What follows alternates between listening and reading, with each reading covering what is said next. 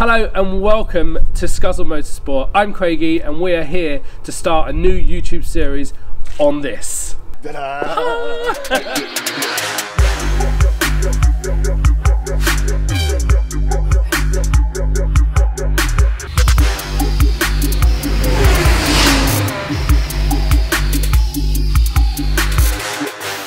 Welcome everybody to episode one of Project 300. I'm here today with the owner of this gorgeous Nissan Fairlady 300ZX, Nick Bailey. Hey, you doing, man? Oh, yeah, I'm good. I'm good. Uh, Nick and I have known each other for a fairly long time with my MX-5 racing, but tell us about yourself. Well, I'm just a car nutter, really. Um, this is my place, Skuzzle Motorsport. Uh, we build fast cars. Um, so, kind of only fitting to buy a fast car that someone else has built, I suppose. Nissan made a fast car. Yeah. Uh, that's, that's kind of rare. So why the 300ZX? Gran Turismo. Really? Yeah, honestly, honestly, Gran Turismo. What, Um, first one? Yeah, yeah. I mean, I was a kid growing up playing Gran Turismo. Yeah. And there was like three cars in that game that really stood out because they were just like the fastest, totally unbeatable. Yeah. And uh, this was one of them.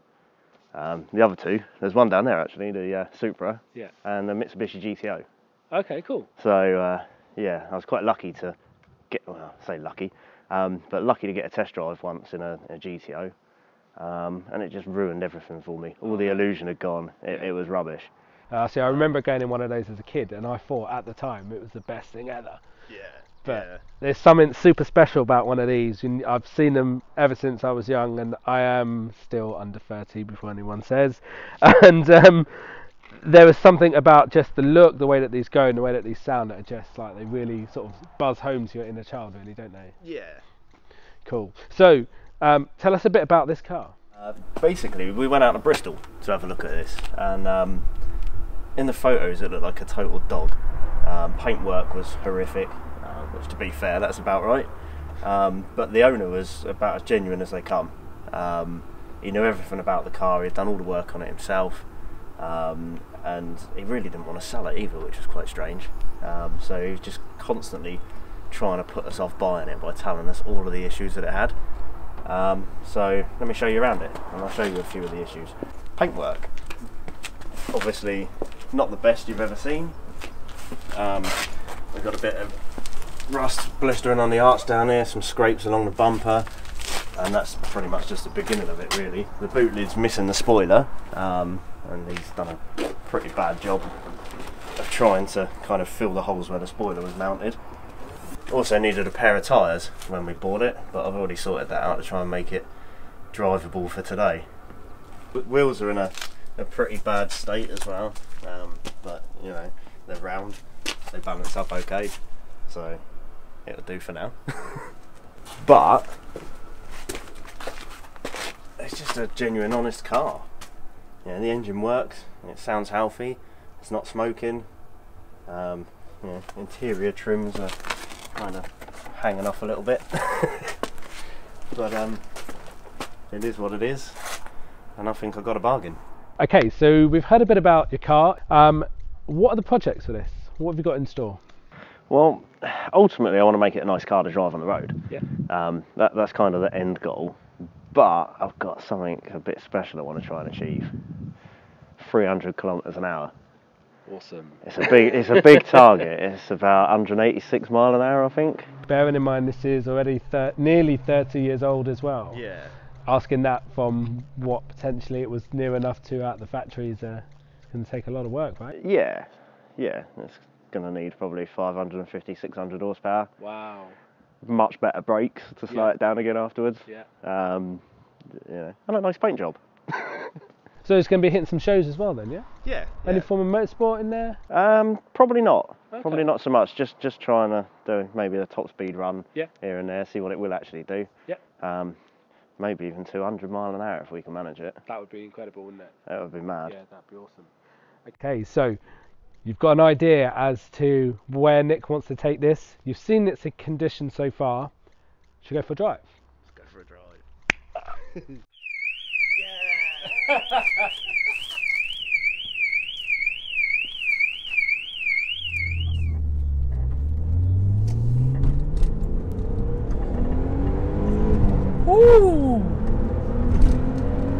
Turbo's working. Jesus! God, that picks up. Yeah. wow. I wasn't expecting that. No? No. Uh, for a big barge, it's pretty rapid, yeah. It? Even when you're you know, really low in the revs and off boost, Yeah. yeah, you can feel the torque of the V6. It, yeah, like I say it doesn't pick up really well at lower revs, Yeah. but you know, it's it's there. You know, it's a big engine. Has this had any tuning at all? Um, not that I'm aware of. I mean, the, the previous owner knew a lot about the car, Yeah. um, and that's something he didn't actually mention was whether it had been tuned. Um, so we've got again typical early '90s Japanese turbo stuff. We've got a turbo timer down here, so it's had some stuff done, but Yeah. I don't think it's ever actually been. You know, the performance hasn't been improved Yeah. on. When you get up into the revs and get it on boost, it reaches about the point where it should do Yeah. um, which suggests that the turbos are running standard boost pressure.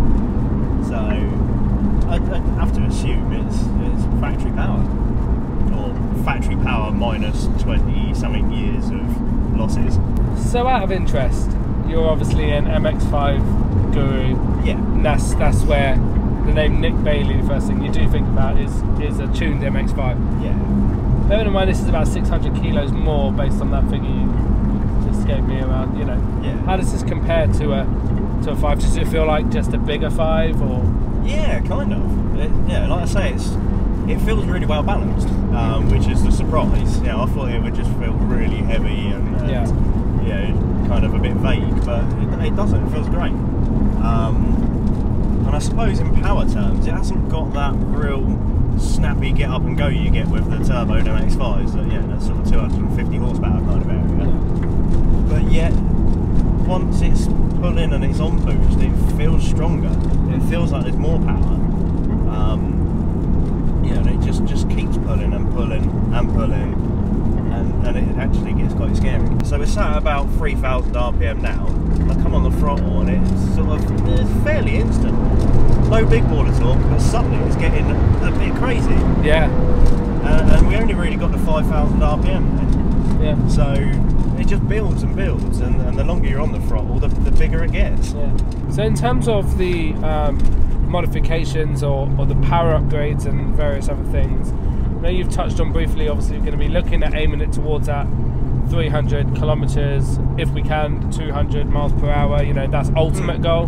What modifications do you have you researched or, or have you considered to start sort of looking at this to achieve that goal? It's a new car to me, to be honest. So I don't know a huge amount about what has been done in the past. Um, I mean, there's, there's stuff on Google. Yeah, you can always look up information on Google, but it's figuring out what information is actually genuine um, and what is just people that have done an upgrade and because they don't want to see that they've wasted their money, they, they bang on about how good it was. Yeah. So I'm going to look at it with a completely fresh set of eyes, with the knowledge that I've learned from what I have tuned in the past, Mm. um, and just come at it, you know, ignore everything else I've seen, and just do what I want to do. Turbos. so, so we got two turbos, yeah. Um, the turbos that the car came with are a, a Garrett unit that's based on a T25 footprint. Yeah. Um, they were specifically designed for this car, which is quite cool. We're not going to stick with stock turbos. I can promise you that right Yeah. now.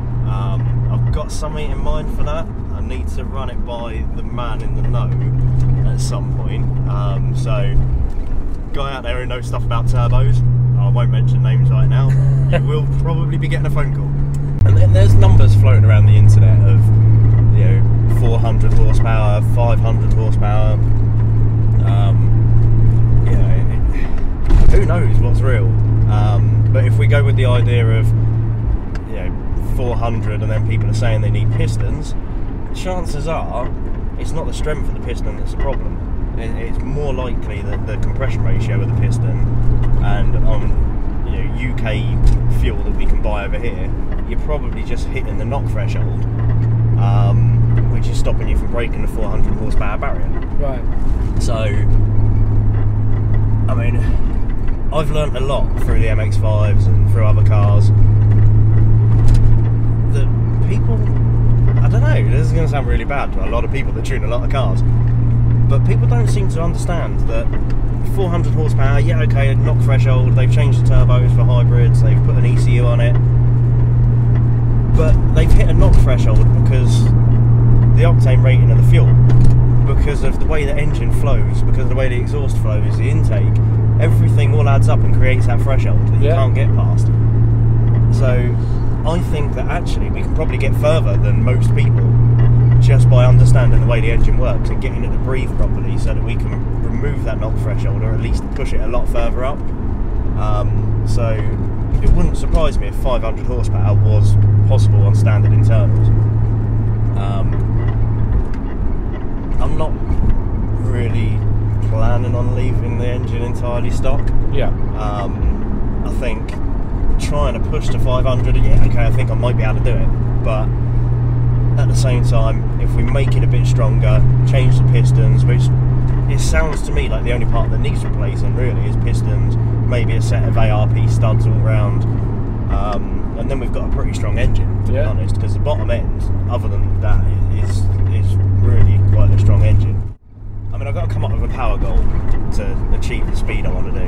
Um, and realistically, I think 550 horsepower should do 300 kilometres an hour.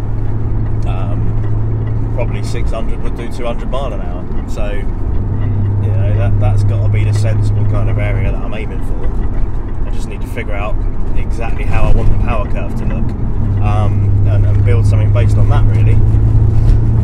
Yeah. Way too technical. So, in terms of power, Yes. what do you think is running at the moment? Based on your arse. Let me put my foot down again and I'll tell you by the end of it. Slow down a bit so we don't have to break the speed limit. Well, that's about 150, 200, 230, 240. Oh.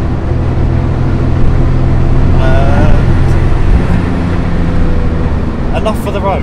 It's making enough for the road. It's making more than enough for the road. If I had to guess, I reckon we might be doing oh, possibly 230-ish at the wheels.